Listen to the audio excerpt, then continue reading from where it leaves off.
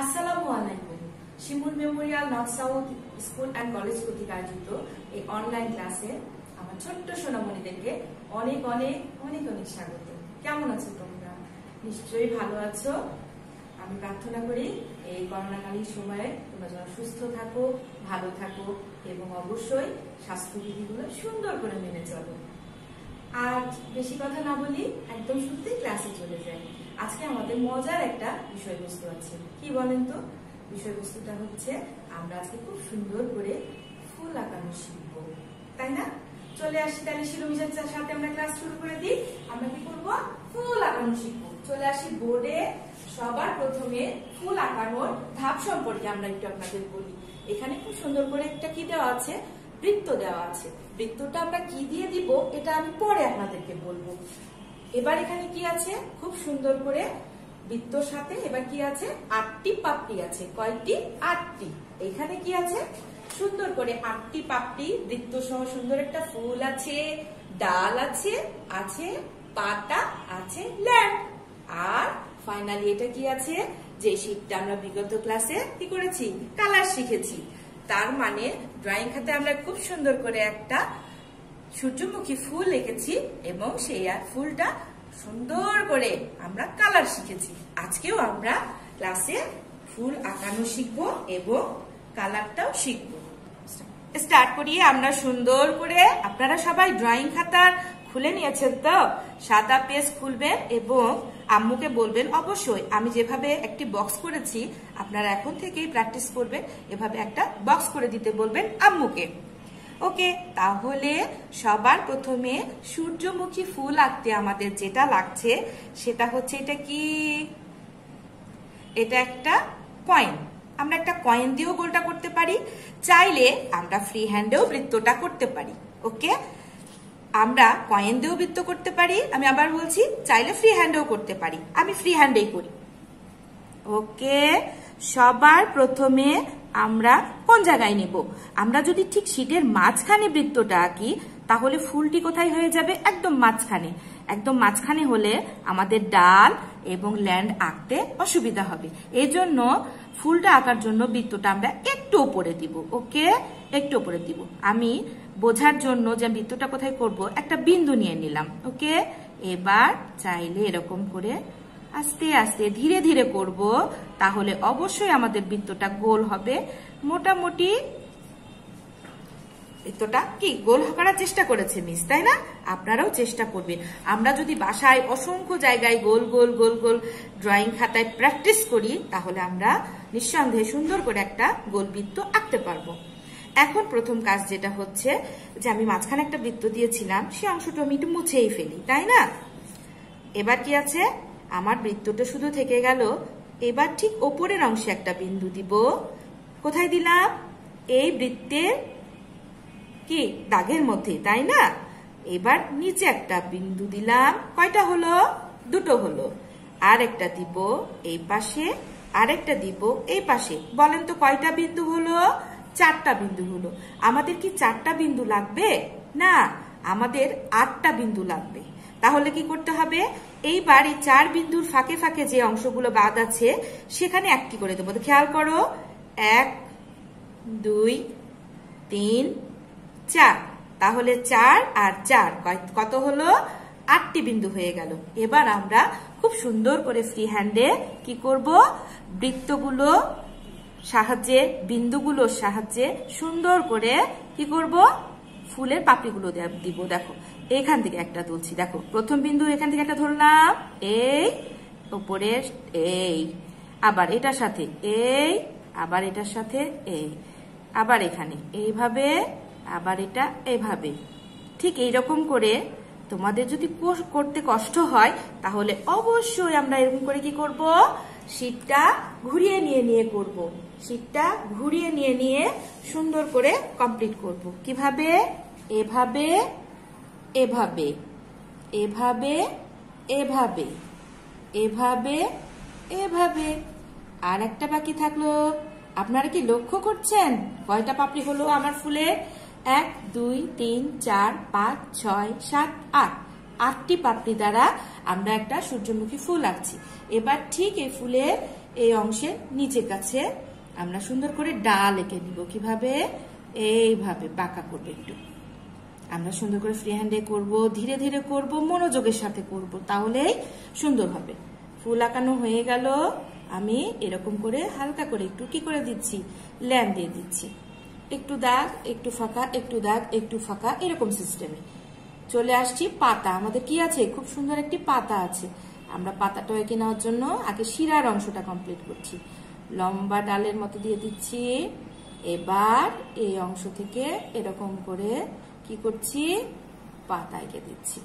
কি দিব? শিরা দিব। এই এই এই। কি হয়ে গেল? আমাদের সুন্দর সূর্যমুখী ফুল এবং পাতা। আমরা বিগত দিনেও কালার শিখেছি, তাই না? কোথায় কি কালার করতে হবে? তবে সূর্যমুখী ফুলে কি রং হয় বলেন তো? হয়। পাপড়িগুলো কি কালার? হলুদ। ভেতরে কি রং হয়? কফি। আর ফুল পাতায় কি, পাতাতে কি হয়? ডালে কি হয়? পাতা হবে গাঢ় সবুজ, ডাল হবে হালকা সবুজ। এই তো, তাই না? তাহলে চলেন আমরা সবার প্রথমে ফুলের রংটা কমপ্লিট করি। হলুদ কালার, ইয়েলো কালারটা নিব। সুন্দর করে পাপড়িগুলো আগে করে ফেলি। আপনি চাইলে বৃদ্ধও আগে করতে পারেন। না, আমার মনে হচ্ছে আগে হলুদটাই করে ফেলি, ভালো লাগবে। তাই না? হলুদ কালার দিচ্ছি। সুন্দর করে করব ঘষে ঘষে। অবশ্যই করার সময় খেয়াল করব। আমরা বর্ডার লাইন ইউজ করব। কেন করব? বর্ডার লাইন ইউজ করার কারণে আমাদের রংটা দাগের বাইরে যাবে না। অনেক সুন্দর হবে। এই জন্য আমরা আগে বর্ডার লাইন করব, তারপর ভেতরে রংটা গাঢ় করে ঘষব। আরেকটা বিষয়, সেটা হচ্ছে হলুদ রংটা কি হয় বলেন তো? হলুদ রংটা একটু বেশি ময়লা হয় আর একটু সাদা সাদা বেশি থেকে যায়। এজন্য খুব মনোযোগের সাথে আপনাদেরকে খেয়াল করতে হবে যেন হলুদ রঙের মধ্যে সাদা ভাবটা কিছুতেই না থাকে। একটু কালার করার সময় একটু মনোযোগ দিয়ে একটু ঝুঁকে ভালো করে খেয়াল করবেন যে কোথাও সাদা সাদা কালার আছে কিনা, তাই না? এভাবে আস্তে আস্তে আমরা ফুলের পাপড়িগুলো কি করব? সুন্দর করে কালার করে ফেলব। আচ্ছা এভাবে আমরা সম্পূর্ণ ফুলটা কালার করব ধীরে ধীরে। ওকে। সুন্দর করে কালার করব ধীরে ধীরে। সুন্দর করে, গাঢ় করে। ওকে।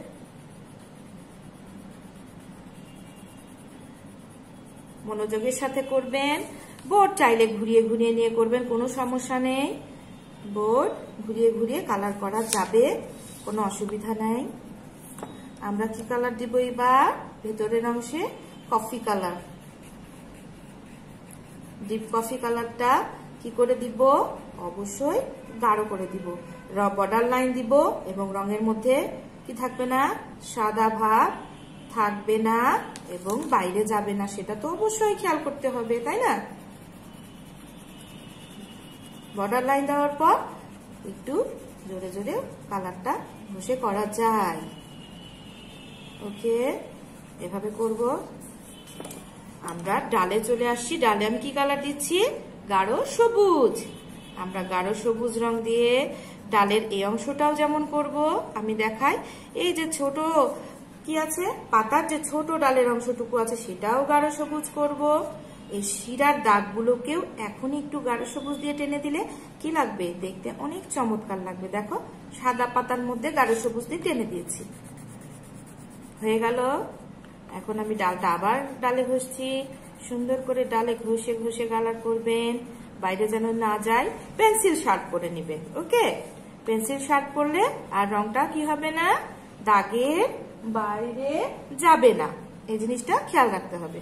আমি ল্যান্ডেও দিয়ে দিচ্ছি। কি দিচ্ছি? গাঢ় সবুজ দিচ্ছি। কীভাবে? আর দেখেন, আমি গাঢ় সবুজটা কিন্তু খুব বেশি গাঢ় করছি না। একটু হালকা হালকা ভাব রাখছি, তাই না? রাখছি তো? কেন রাখছি? সেখানে আমরা কি সবুজ দিচ্ছি? হালকা সবুজ দিচ্ছি। হালকা সবুজ দিয়ে, গাঢ় সবুজের উপরে হালকা সবুজ দিয়ে আমি কি দিলাম? শেড করে দিচ্ছি, একটু চেপে সুন্দর করে। তবে হালকা সবুজ রংটা কিন্তু হালকা করে করব না, একটু গাঢ় করে চেপে চেপে করব, তাহলে সুন্দর শেড হয়ে যাবে। বাদ আছে কি?